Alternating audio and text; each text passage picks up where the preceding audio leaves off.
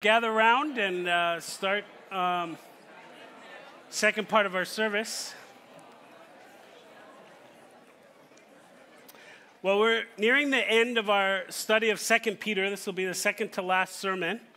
Um, and if you remember our message two sundays ago peter turns now and begins to address the, the false teaching uh, head on. And the basic message last week was um, that God will, will judge the wicked, He'll preserve the righteous, and, and the false teachers were teaching something counter to that. And um, we're, as Christians, as Christ followers, we ought to pursue righteousness, not in an effort to earn our salvation, but as a natural result of being saved. That we're no longer defined by our sin, rather, we're defined by grace. And so we make it a habit to confess and to turn from our sins. Well, this week, Peter continues his teaching. And now in chapter 3, he addresses the, se- the second main proposition um, from the false teachers. And that was that Jesus was not going to come back to judge the world. Uh, things will just go on as they always have. And when we die, our souls are saved. Therefore, it doesn't matter what we would do with our physical bodies. And so let's turn now uh, to 2 Peter chapter 3 as Peter addresses this false teaching. And if you remember, just like he did in chapter 2, I want you to notice that Peter takes the same approach as he did in chapter 2, going first to the Old Testament and expositing it and drawing from it a timeless truth. And then he goes to the teaching of Jesus and does the same thing and then applies it. And so um, we'll see uh, uh, that the authority of Scripture has to be where we begin with any teaching that, that we hear. So let's turn to 2 Peter 3, verses 1 to 13. This is now the second letter that I'm writing to you, beloved. In both of them, I am stir- stirring up your sincere mind by way of reminder that you should remember the predictions of the holy prophets and the commandment of the Lord and Savior through your apostles. Knowing this, first of all, that scoffers will come in the last days with scoffing. Following their own sinful desires, they will say, Where is the promise of his coming? For ever since the fathers fell asleep, all things are continuing as they were from the beginning of creation. For they deliberately overlook this fact that the heavens existed long ago and that the earth was formed out of water, through water, by the word of God. And that by means of these, the world that then existed was deluged with water and perished. But by the same word, the heavens and earth that now exist are stored up for fire, being kept until the day of judgment and destruction of the ungodly. But do not overlook this one fact, beloved, that with the Lord, one day is as a thousand years, and a thousand years is as one day. The Lord is not slow to fulfill his promise, as some count slowness, but is patient toward you, not wishing that any should perish, but that all should reach repentance. But the day of the Lord will come like a thief and then the heavens and the earth will pa- the heavens will pass away with a roar, and the heavenly bodies will be burned up and dissolved, and the earth and the works that are done on it will be exposed. Since all of these things are thus to be dissolved, what sort of people ought you to be in lives of holiness and godliness, waiting for and hastening the coming of the day of the Lord or the day of God, because of which the heavens will be set on fire and dissolved, and the heavenly bodies will melt as they burn. But according to his promise, we are waiting for a new heavens and a new earth in which righteousness dwells. Let's pray. Dear Heavenly Father, we thank you for this teaching. We thank you for your word.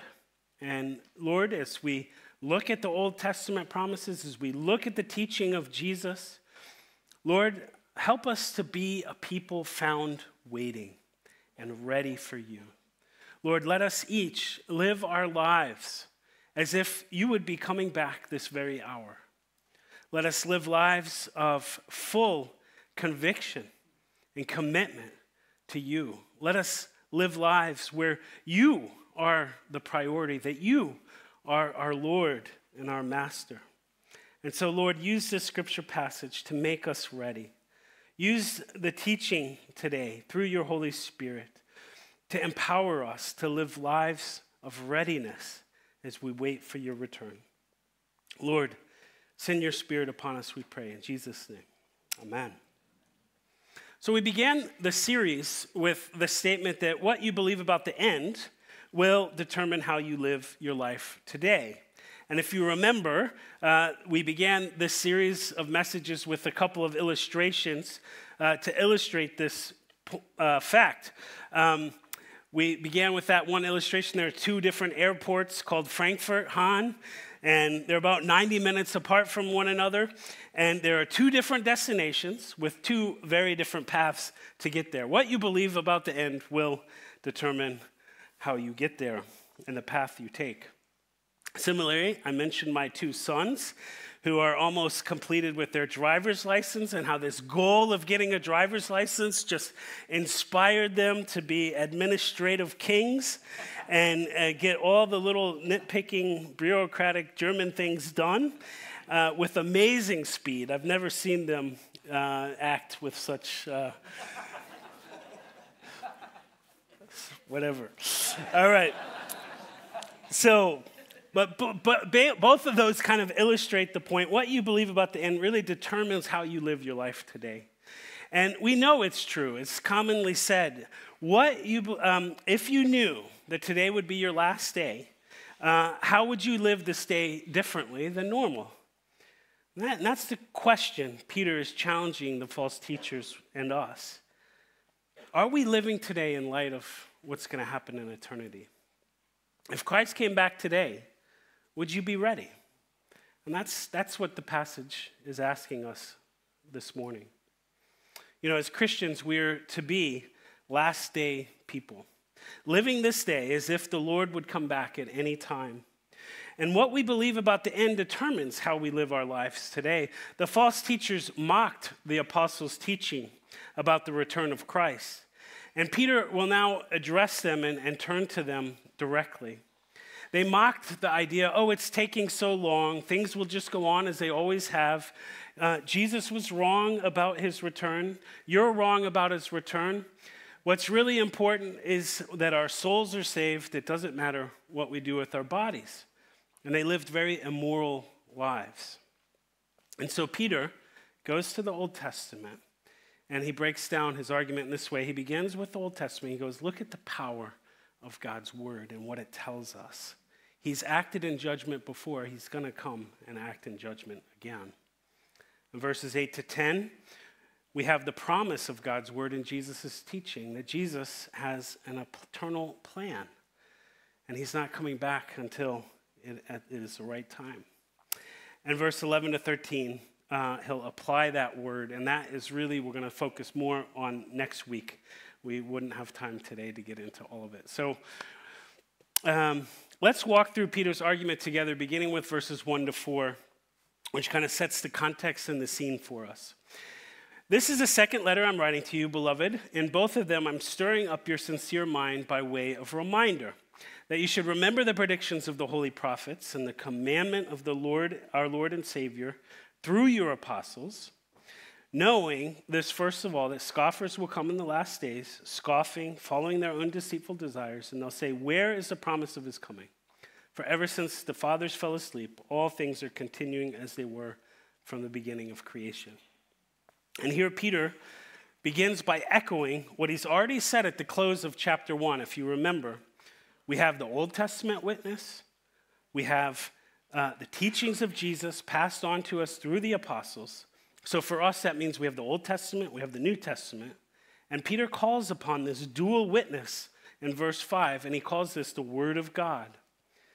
And so you see in verse 1 and 2, he writes again, as an intro to his argument, I'm stirring up your mind to remember these things, to go back to Scripture, to go back to what we've been taught, what's been revealed by God to us in his Word.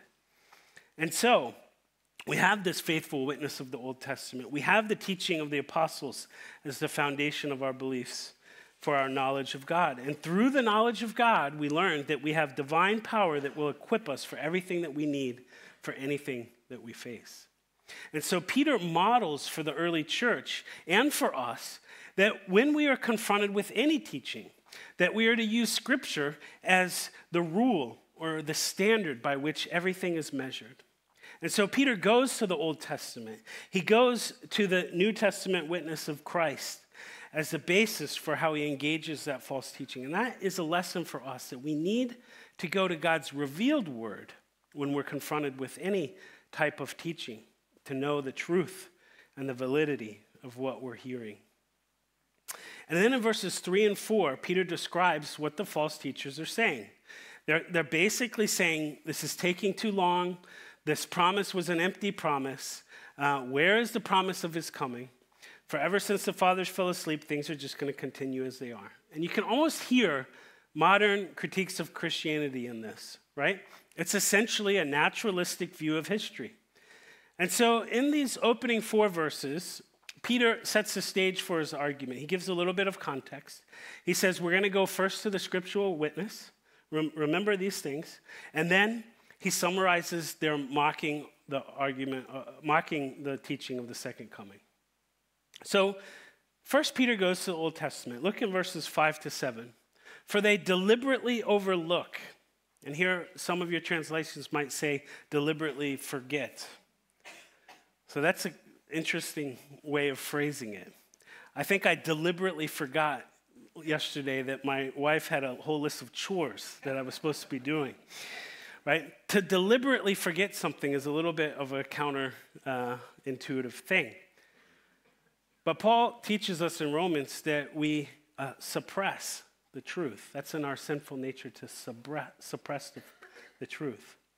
So they deliberately overlook this fact that the heavens existed long ago and that the earth was formed out of water and through water by the word of God, if you remember in Genesis 1, that God came and he took the waters of chaos and, and made land and water and light. And that's where it begins and that by means of these the world existed, it was deluged with water and perished. The story of Noah. And by the same word, the heavens and the earth that now exist are stored up for fire, being kept until the day of judgment and the destruction of the ungodly, that great and terrible day of the Lord that the prophets spoke of. So notice how he speaks of the power of the word of God. Verse 5 the earth was formed by the word of God. Verse 6 the earth was deluged with water in judgment by the word of God. And verse 7 that same word, by that same word, the world will be judged by fire. So here Peter draws on the word of God and the power of the word of God, recalling that it's through the word of God that God created, it's by the word of God that God judged the world through the flood, and it will be through that same word that the Lord will come again in judgment. So, who is that word? It's Jesus Christ is the Word of God made flesh. And so we base our teaching and life on this powerful Word of God. And the false teachers scoffed at the idea that the world was going to come to an end in judgment. Peter re- recalls for them that God has already done this at one point in history through the flood. And in the prophets, he said he would come again in fiery judgment on the great and terrible day of the Lord. And so Peter goes to Scripture as the precedent, as the basis for his argument. The fact that there was a great flood is documented not just in Scripture, but in several ancient historical records from the Babylonian to early African, even Peru and Mexican traditions recall a great flood of cataclysmic proportions. Now, this is an aside, but I love when science confirms uh, the mechanics of Scripture. So bear with me with a second. For years, scientists assumed that water that we have on Earth came in a massive asteroid from, from ice and it kind of introduced water to the Earth. And that, that may potentially still be true. And this, on this theory, for, for years, scientists mocked the biblical record that states that during the flood, God released a deep springs from within the Earth's core flooding the entire earth, or parts of the earth, whatever your interpretation is. Well, about 10 years ago, science, with the help of technology, drilled past the Earth's outer core and made a fascinating discovery. For the better part of the last century and a half, scientists had thought Earth's core oceans were formed when icy comets hit the planet. But new research suggests a different origin for the oceans. They simply seeped out of the center of the Earth. After decades of searching, scientists have discovered that a vast reservoir of water, enough to fill the oceans three times over, may be trapped hundreds of miles beneath the surface, potentially transforming our understanding of how the planet was formed. So look, look how Moses describes the flood in Genesis 7. And this is what was mocked as implausible. But 3,000 years before this scientific discovery, in the 600th year of Noah's life, in the second month, on the seventh day of the month, on that day, all the fountains of the great deep burst forth, and the windows of the heavens were open. The Word of God is powerful, revealing to us deep things about God. And Peter goes to that Word as trustworthy and true place to base our knowledge of God, of the world, and of humanity. And Peter writes in verse 5 that these false teachers deliberately overlook this fact, deliberately forget this, meaning that in the hubris and in the pride of sinful humanity, they disregard God's word and seek for other explanations. To deliberately forget something is what we call selective memory. So, in their pride, the false teachers disregard Scripture's teaching. And so, from the Old Testament witness, Peter reminds us that what we are clearly taught in the Old Testament. And here's the timeless biblical truth that he pulls out. Just as God judged the ancient world by water, he will come again on a day called the day of the Lord, and he will judge the world for all their iniquities and sins in, in fire. So just look at places like Isaiah 66, 15 to 16, for just one of these Old Testament examples. For behold, the Lord will come in fire, and his chariots like the whirlwind, to render his anger and fury and his rebuke with flames of fire. For by fire will the Lord enter into judgment and by his sword with all flesh, and those slain by the Lord shall be many. So Peter goes first to the Old Testament, exposits a timeless truth that undermines the claims of the false teachers, and then applies that to their teaching. Will things just go on forever, they scoff? No, there is a great and terrible day of judgment coming. But then why the delay? Why not just come now? And end it all? Why all this misery and suffering? Why this wait? Why doesn't God just sort things out now? Surely there's a more effective way to do this, God. Well, now Peter goes to address that in verses 8 to 10. But do not overlook this one fact, beloved. So this is the same. Don't forget, right? Don't deliberately forget this fact that with the Lord, one day is as a thousand years and a thousand years as one day. The Lord is not slow to fulfill his promise, as some count slowness, but is patient toward you, not wishing that any should perish, but that all should reach repentance. But the day of the Lord will come like a thief. And then the heavens will pass away with a roar, and the heavenly bodies will be burned and dissolved in the earth, and the works that are done on it will be exposed. So there are two things Peter points out in these verses one, that God is eternal in nature, and that God has an eternal plan. The first thing here Peter points out is the eternal nature of God.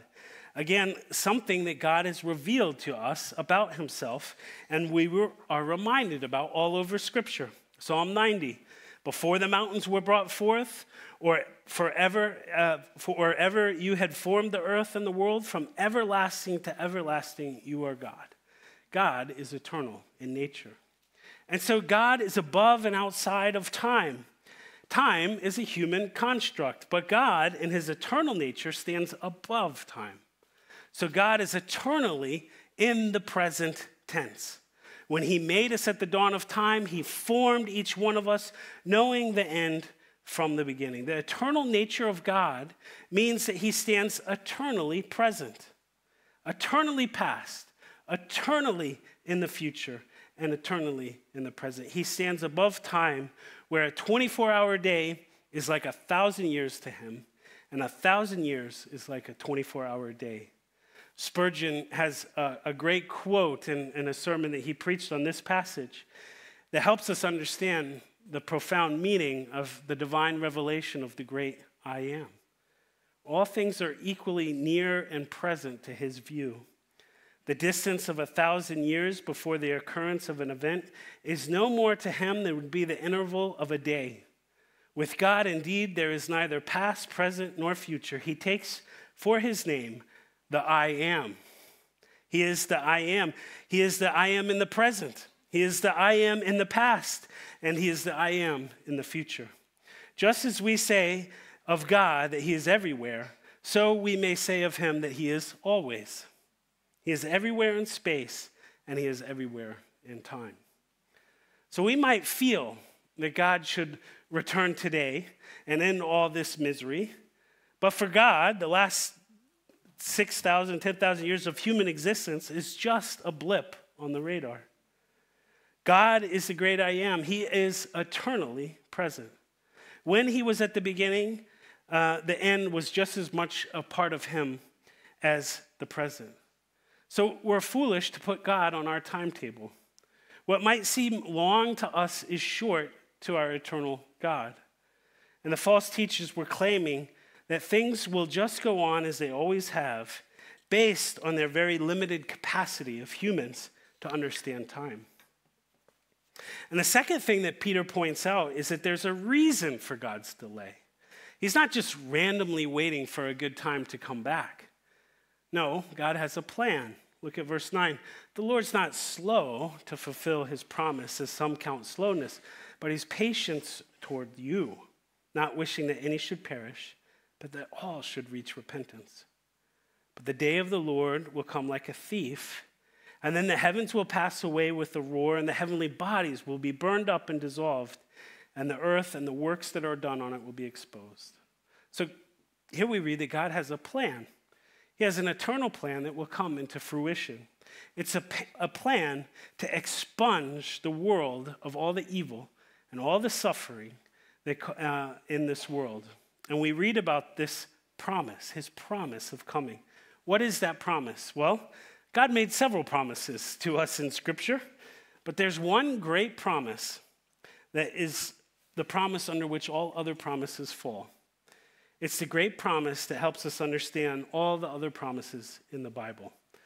And what is this great promise? Well, it's a promise that's repeated throughout Scripture. Beginning in Genesis chapter 3, God gives this promise to Satan and to Eve. And he says, I will put enmity between you and the woman, and between your offspring and her offspring, and he, her seed, shall bruise your head, and you shall bruise his heel. And the rest of the Bible is the promise of reaching its fulfillment in Jesus Christ. Jesus is that seed of Eve who crushed the head of Satan. God has a plan to save this world and his beloved children from uh, within this world, not wanting any to perish, but all of them to come to repentance. God loves this world, he loves everyone in it, not wanting anyone to perish. That's a beautiful passage about God's love for us, for everyone in it. And it breaks his heart to see the world in sin and, and suffering. He loves everyone in this world, not wanting anyone to perish, but alas, he knows that not everyone will come. And not everyone is his own, not everyone will come to him, but many will follow their sinful nature into destruction. And Jesus taught us that this day will come like a thief in the night, as Peter tells us. Matthew 24, we read this But concerning that day and hour, no one knows, not even the angels of heaven nor the Son, but the Father only. Therefore, stay awake, for you do not know on what day your Lord is coming. But know this that if the master of the house had known in what part of the night the thief was coming, he would have stayed awake and would not have let his house be broken into. Therefore, you must also be ready, for the Son of Man is coming in an hour you do not expect. So, are you ready? Jesus has given us this invitation. And it's an invitation today in the message of the cross. Will you either hear his voice calling to us, or are your hearts going to be hardened? Just like in Jesus' day, this teaching, this invitation, this gospel message either invited people in or it hardened the hearts of those who heard it. The proud and the self righteous became hard towards the gospel message, and the humble and the repentant found healing and peace in that gospel message. And this is the message that God loves you. God is reaching out for you this very morning. But you are a sinner. And right there, the message hits you like a ton of Brits, and your son, sin is exposed, or your heart is hardened, and you say, I'm not a sinner, I'm a good person. No, your sin is great. And on that final day, you're going to stand before a holy God, and all your deeds will be exposed. That's what Peter says. And our only hope at that point will not be that I'm more good than I'm bad. Your only hope will be the finished, completed work of Jesus Christ. Jesus died your death. He took your sins upon his shoulders and he suffered the wrath of God in your place. And if you come to Jesus in humility, confessing your sinfulness, turning from your life of self rule, he will lift you up and give you eternal life. But if your heart is hardened toward that message, then you will stand condemned and judged according to your works, all of them, on that final day. So Jesus has an eternal plan, and he's not coming back until every one of his children and his sheep are saved. To those that come in humility and repentance, he will give them eternal life. And he won't let any one of them fall or be snatched out of his hand, and he'll ensure that they come to him. John 10 My sheep listen to my voice, and I know them, and they will follow me, and I will give them eternal life, and they shall never perish, and no one will snatch them out of my hand. My Father who has given them to me is greater than all, and no one can snatch them out of my Father's hand. So we're told in Revelation 20 what will happen on this final and great day when Christ returns in glory and in judgment and in fire. In Revelation 21, verse 1, we read, uh, verse 11, Then I saw a great white throne and him who was seated on it. That's Jesus. And from his presence, earth and sky fled away, and no place was found for them. And I saw the dead, great and small, standing before the throne, and the books were open. And then another book was opened, which was the book of life. And the dead were judged by what was written in the books, according to what they had done. And the sea gave up the dead who were in it, death and Hades gave up the dead who were in them, and they were judged, each one of them, according to what they had done. And then death and Hades were thrown into the lake of fire. That's the second death.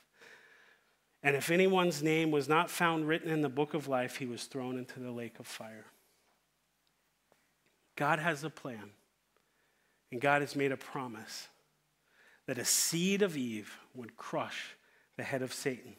And here is that promise reaching its fulfillment. And all of those who ever lived will stand before the throne of Jesus. Everyone will stand and give an account of their life. And everyone, great and small alike, will be judged, and everyone will be found guilty. Death and Hades will give up their dead who were in them, and they were judged, each one of them. That's you and me. Will be judged according to what they've done. As we stand there weeping, the judgment will fall, and each of us will stand guilty before a holy God. But two groups will be sent to two very different destinations one to eternally suffer in hell, and the other to eternal life. And the difference between the two is not in what they did or didn't do. The difference is, are they in the Lamb's book of life? How does one get in there? Through faith alone, by grace alone, in Christ alone. as we stand weeping at the judgment. Our eyes will be filled with tears because we'll be found guilty. But what happens next to those who have placed their faith in Jesus? Then I saw a new heaven and a new earth. For the first heaven and the first earth had passed away. The sea was no more. He'll wipe away every tear from our eyes. You were condemned. You were guilty. And you knew it. And you cried. And Jesus came and wiped those tears away. And death shall be more, no more. Neither shall be mourning, nor crying, nor pain, for the former things have passed away. And that's the message of the Lamb and the cross. And this message is either softening your heart this morning or it's hardening your heart. And you have to decide today can be the day of salvation. Amen. Would you come to Jesus, confess your sins, and fall on his grace? Would you rest in the completed work of Christ and not your works? Rest in his goodness and not your goodness? So we see from these verses that we should not be concerned about the timing of God's plan, when and where and what, but rather we should just be ready and live today as if it would be that day. God is eternal. God has an eternal plan. And his love and patience, he's waiting for the full number of people to come into the book of life. And it's conceivable that right now on earth is that last person. It's conceivable. One day there will be that one and final convert to come to Jesus in faith, and then God will close the book and say, It's done. God, in his loving patience, is waiting for that last man or that last woman to come to him in repentance. And so, as we close this morning, Peter applies this timeless truth. And here we'll dive in more next week.